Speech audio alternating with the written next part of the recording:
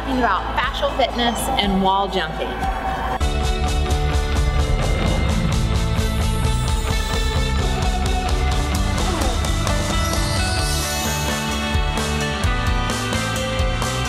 Welcome to the Pilates Show, where we explore creative, innovative, and fun Pilates tips and techniques that help to deepen the skill level of the movement educator while having fun.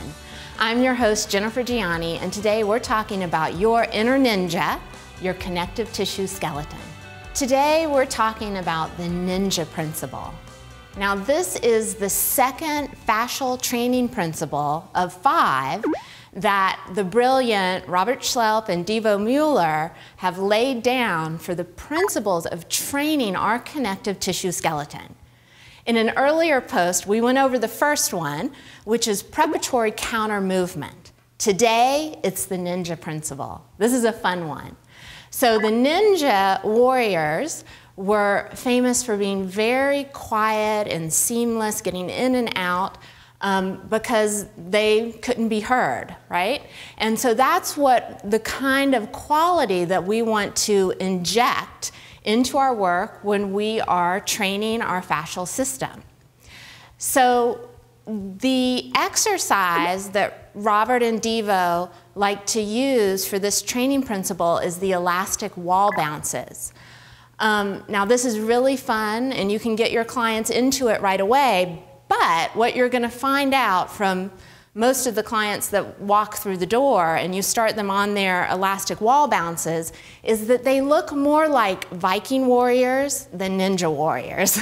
So I wanted to kind of explore some tips and techniques that you can help to bring your clients up to speed on someday doing these elastic wall bounces with a little bit more grace and finesse. So in the Pilates studio, here we go, we're gonna build some skills. And the first place that I wanna go to is really creating awareness and strength and balance through the hand, wrist, forearm, um, arm bone, and shoulder girdle. So you'll get your clients up against the wall. You'll have a little bend in the elbow, and really have them explore grounding into the wall.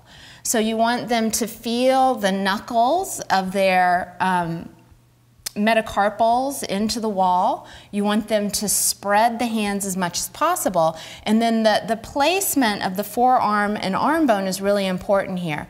I want to see that their extensor crease is straight and that their elbow point is dripping down towards the floor and that they're imagining that the back of their armpit is shining forward or the back of their armpit is coming forward. So that opens the collarbone as much as possible, but also keeps the space and room between their shoulder blades in the back. So keeping all of that beautiful length and width, they'll step back just a little bit, right? So that they feel most of their weight in the balls of their feet and then just a bit of weight into the center of their heel. Now, first we're gonna start with the um, balls of the hand tap and the finger pad tap. So the only thing that should be moving here is from the wrist and hand. The forearm arm bone position stays the same. And I want them to really pay attention to having the same timing with the fingers and the hands. Now to detail this even more, you're gonna really make them aware of how they're standing on their feet, right? The alignment and the feel and the buoyancy of their knees and their hips, and also paying attention to filling up the back of their body right, to having really elongated curves and a full back body. Because this is what people are going to tend to do. They're going to tend to just sit into their shoulder girdle and into their ribs and forget about the back of their body as they go through this choreography with their hands, right? So that's very important. And what I'm feeling, whoo, in a really nice way, is this work through this whole extensor line of my hand, wrist, and forearm. So I'm starting to build a lot of awareness through this line. From here, we can also go into our hand waves, which is going to start to um, speak to those little pebble-sized bones of our wrist. So I want that same organization from the feet through the torso head and the arm bones. Um, so from here, extensor crease is nice and straight, and they'll pick up their hands. And I want them to rotate the palms and fingers only to that point where they're not losing the alignment of the forearm and arm bone. And then they'll place the hands onto the wall and then brush the wall. And this is really hard. Brush the wall, wall coming back into their beginning position. And it's very, very small. So they'll lift, pivot on the balls of their hands, back down, and then brush. And especially during the brushing, I feel the most brilliant sensation at my lower wing area and underneath my shoulder blade. So you're really creating some very nice awareness and integrity in that whole serratus anterior, um, external oblique line without you know, falling forward without collapsing. And that's going to be really important for their elastic wall bounces when they get there so that they're not just collapsing and falling into the wall during that. Now you can also reverse this. So not exactly reverse it, but the, the palms fingers stay on. They pivot, right? So I haven't picked up anything yet, but lower upper arm bones stay the same. I lift, and then I rotate and put the hands back down.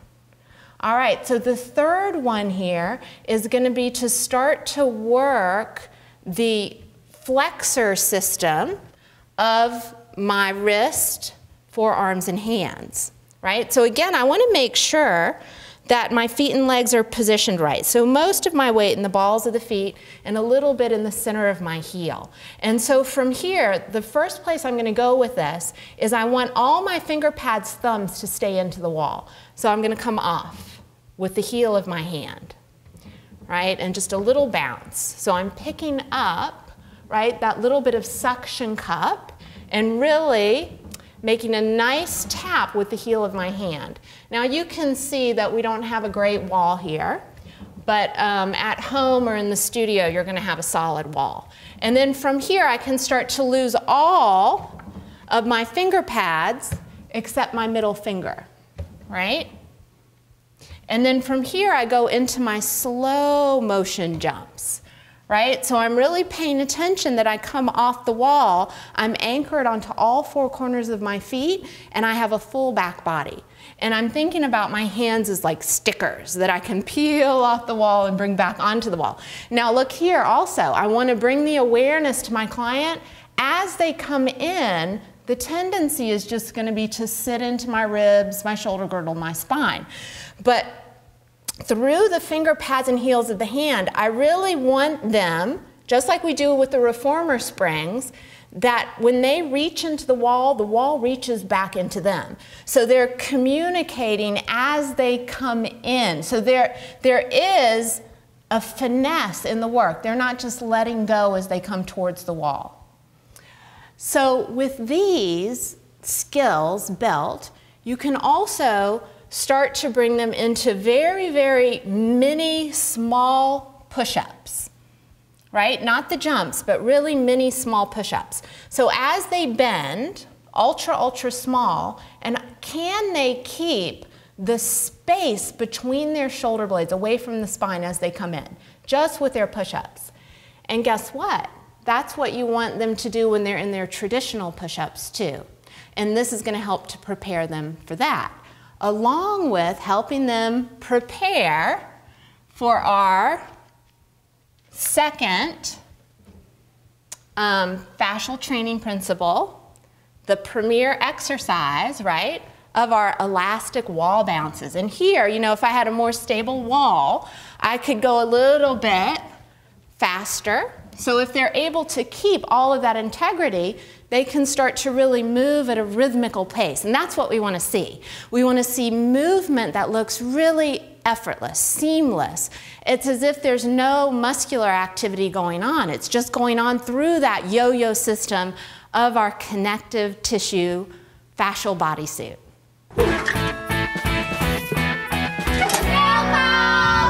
Katie asked on the forum, when you say pre-tense, does that mean the stretch before you engage tense the fascia, or does it mean an engagement in the extended position to support the execution? This is a great question, Katie. Thank you. So, what, first of all, what I'm talking about is the bow and arrow principle right? So before we can let the arrow fly, we need to, to build up um, that elastic recoil. We need to pre-tense the tissue or pre-tense the bow so we can allow the movement to happen. And there's never, in, in this type of work, there's never a passive moment. So the word stretch sometimes tends to mean some passivity, and here there's no passive moment. So you're really building energy on that preparatory counter movement so that you can create a nice springy fluid movement.